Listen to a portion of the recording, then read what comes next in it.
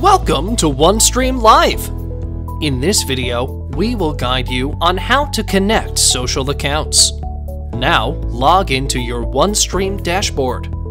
Click on the social account you want to connect. For example, let's connect your Facebook page to OneStream. Click Facebook page. Your logged in Facebook pages will be displayed. Click Continue for your desired page. Select the Facebook pages you want to connect. Remember that you can only connect the pages for which you are the admin or editor. Click Done. Click OK. You will be prompted to authenticate your connection. Select the desired Facebook page and click Connect to OneStream. Your social account has been connected successfully.